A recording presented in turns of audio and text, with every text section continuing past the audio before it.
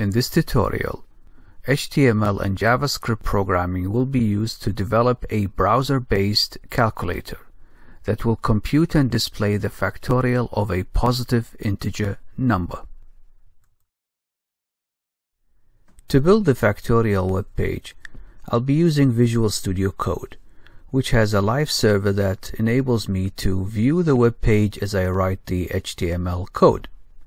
First, I'll create two files named factorial, one HTML file to store the HTML code and the other JavaScript file to store the JavaScript code.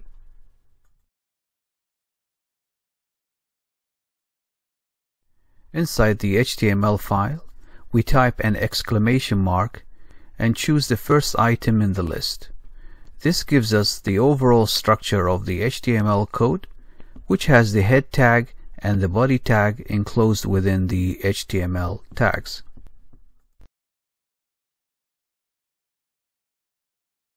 Inside the head tags, we have the title tags, where we can write the main title of the web page, which will appear on the Browser tab. Before we start coding, we need to design our web page on paper. First a main title, then instruction to enter a number. There should be an input field to enter the number and a button to do the calculation. Finally, the result. We need to link the JavaScript file with the HTML file by including this script tag. Now inside the body tags, we create header1 tags and within these tags we write the main header of our web page.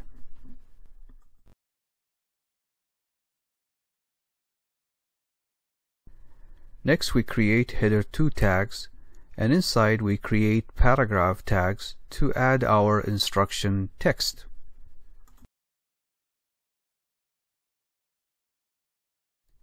Within the same paragraph, we create an input field by using the input tag. The button tags are used to create a clickable button.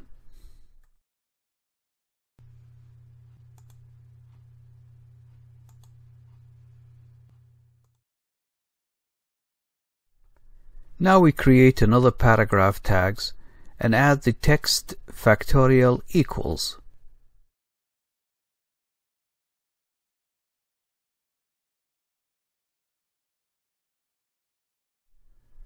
To display the result, we need to use span tags.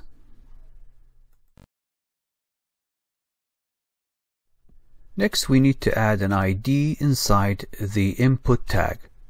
We will name this ID num. This ID will be referenced within a JavaScript program. Inside the button tag, we add the instruction on click and attach to it a JavaScript function called factorial. So whenever we click on the button, function factorial will be executed. Now inside the span tag, we add an ID called fact, which again will be referenced by a JavaScript program. Now we've finished the HTML coding, we go to the JavaScript file and create our factorial function by using the function command. Keep in mind that JavaScript programming is to some extent similar to C++.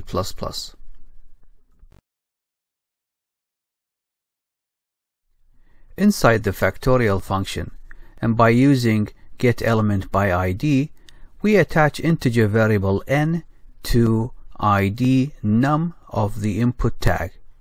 So now any number we input will be stored in variable n.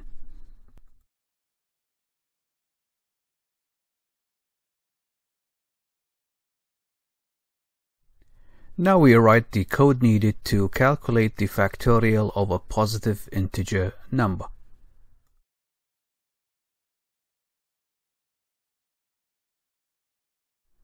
Again, by using getElementById, we need to reference id fact, which is inside the span tag, and copy the computed factorial into it.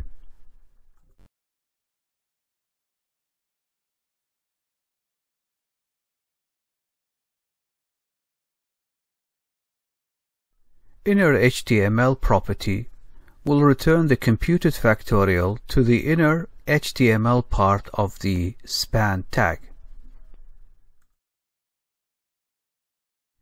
And now for a quick demonstration, we'll test the factorial calculator by inputting different numbers. When we input a negative number, the calculator gives us the value 1, which is an error. So we need to go back to the JavaScript code and rectify this problem. Using an if-else statement, when a user inputs a negative number, an error message is displayed. Otherwise, the calculated factorial is displayed. We now test the calculator by inputting a negative number.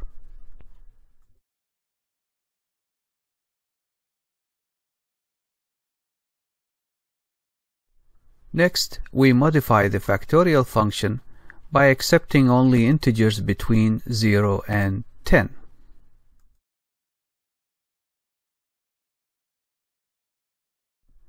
And now for a final testing of the factorial calculator.